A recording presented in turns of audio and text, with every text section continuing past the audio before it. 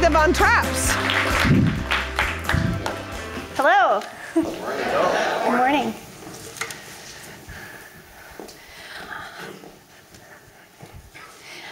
So, on a research trip to Chicago, I spent some time at a public computer lab where I met a young single mother who was going online to try to find a job. Get this right? Green one, the green one. Of course, it's the green one. It's not working. That, that's the green one. Thank you. Uh, so I, was, I, met this young single mom. She was in this computer lab going online to try to find a job. And uh, she'd been doing this day after day and week after week. And as I was sitting with her looking at the screen, I realized why this was not working. She'd type in a search phrase. It was a company name and job. And up would pop all of these websites, many of which had, uh, it looked like they were affiliated with the company she was searching for, but these were third party sites. Uh, some of them even had the logo of the company. Um, but these were lead generators. And the site would ask her for a lot of personal information. She'd fill out her job history, her address, her date of birth, her criminal history. She dutifully filled it all out, but she never managed to submit an application for the job she was seeking.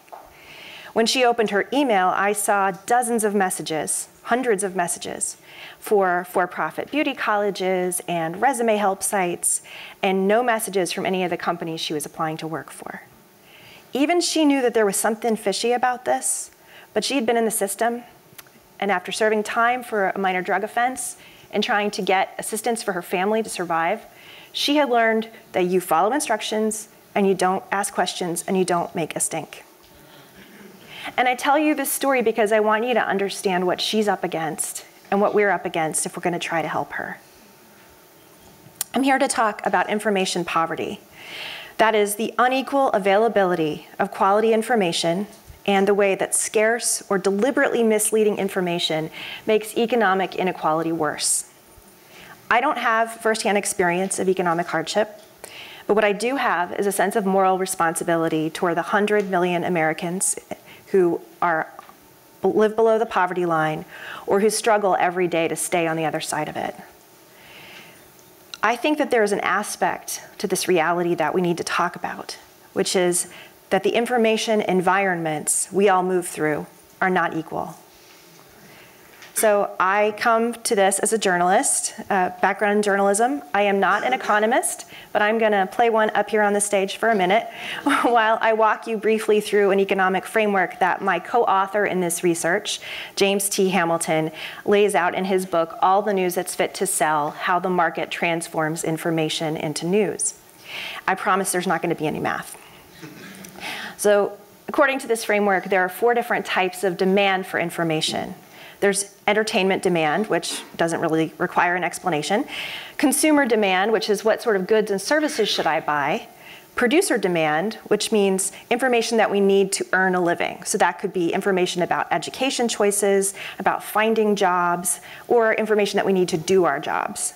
And then there's voter demand, or what you might more broadly call civic demand information. Who should I vote for? How does my government work? How do I make change? For the most part, and I'm going to put an asterisk here, the market provides the first three types of information reasonably well. Certainly, there's a never ending supply of consumer of entertainment. Consumers have a lot of information options, especially if you're going to buy a new phone or remodel your kitchen. And for producer information, there are college rankings, there's Glassdoor, trade publications, maybe databases that you, your company subscribes to. But when it comes to civic information, there's a market failure. By which I don't mean that there isn't a market for civic information. There is, you all know that there is. But what I mean is that the market exchange itself does not account for all the costs and benefits to society. When reporters show up to a city council meeting to keep an eye on our local elected officials, we all benefit from that. And when an investigation changes a policy and that saves lives, those lives get saved whether or not the people whose lives are saved ever know about the story, let alone whether they pay for it. So it makes it, you may be thinking, okay, market failure, so what?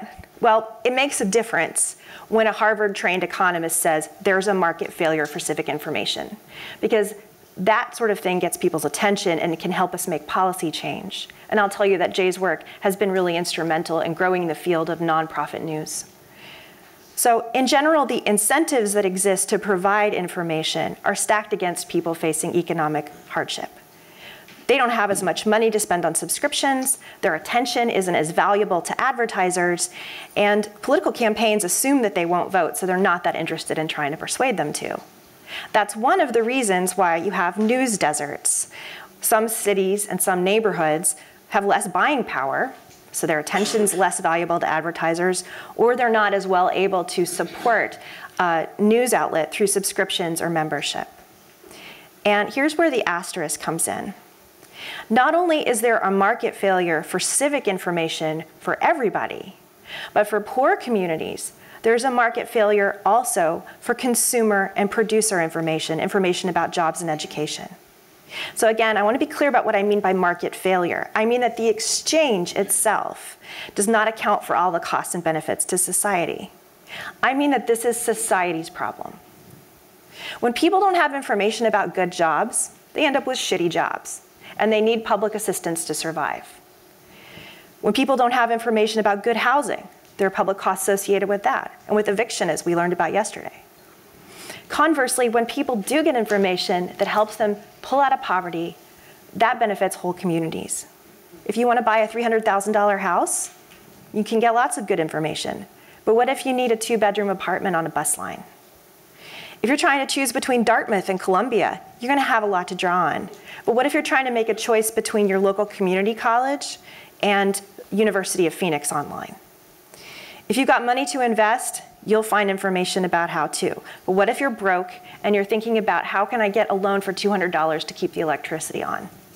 Where do you turn for information that you can trust? Historically, we've had a really paternalistic attitude in this country toward people who are struggling financially. There's this idea that the poor don't know what's good for them, that they're irresponsible and lazy. I mean, you've heard all of this, right? But science tells us otherwise there is a body of behavioral economics research that people experiencing poverty are not intellectually or behaviorally any different than anybody else. Even in simulations in a lab, researchers have found that thinking about something that makes you stress out about your finances weakens your ability to solve problems and make good choices. That is true for every single one of us. The chronic stress of financial hardship is like pulling an all nighter every day of your life.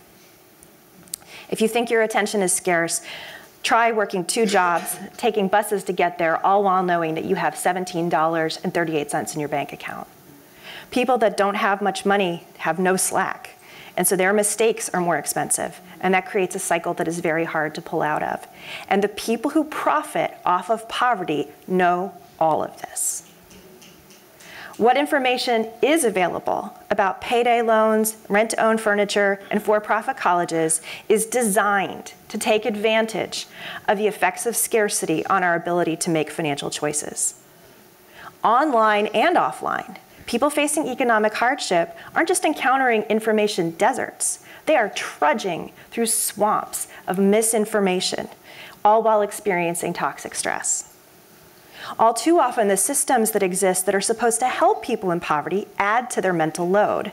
Applications for food stamps and similar programs are deliberately long and confusing and hard to fill out. Our system of aid uses information as a barrier to weed out the undeserving poor. I'm going to tell you about how we can do this differently. My friend Sarah Alvarez was a reporter for public radio in Detroit who wanted to do more to directly help people facing economic hardship.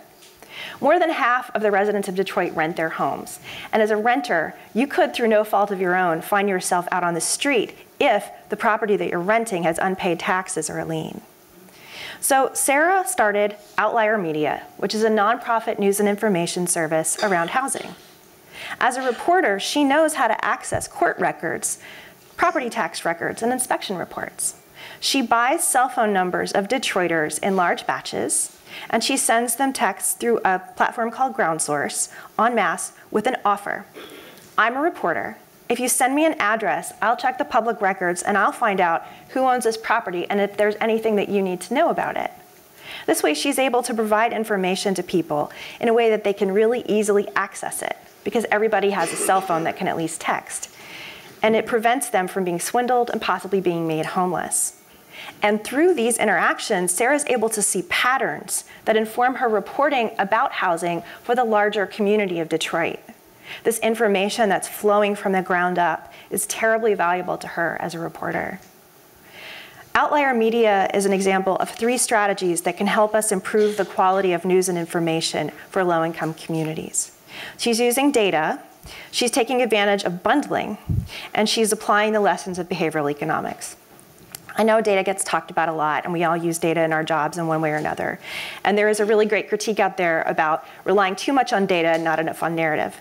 Yes, and there is a lot of data out there that could really help people if we could get it in their hands. So Sarah is not dumping spreadsheets on people or quoting statistics at them or sending them to a database. She's like a data concierge. she knows where to look and she's the one searching and making sense of it and giving it to them in a way that's useful. And that is so powerful. And it is the value that we as communicators can add to data so that we can put it in the hands of the people who need it. Bundling is a way to deliver information to people that they might not otherwise be able to access or know that they need. Newspapers were a great bundle until the internet came along. And in the case of Outlier, the bundle is the cell phone. Bundling is also a feature of all kinds of other social services.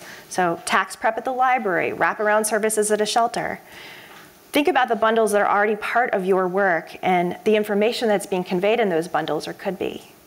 Behavioral economics teaches us to consider the context in which people are receiving information, the timing of when you give it to them, what kind of cognitive load they're under. Sarah gives people exactly what they need, how they need it, and it's simple and useful.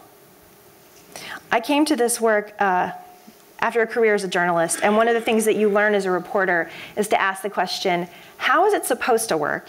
And then how did it actually work? When we talk to experts, they can tell us the answer to the first part of the question. But only people navigating these systems can tell us the answer to the second part. You can talk to the good people at HUD and your local housing agency, and they can tell you how Section 8 is supposed to work.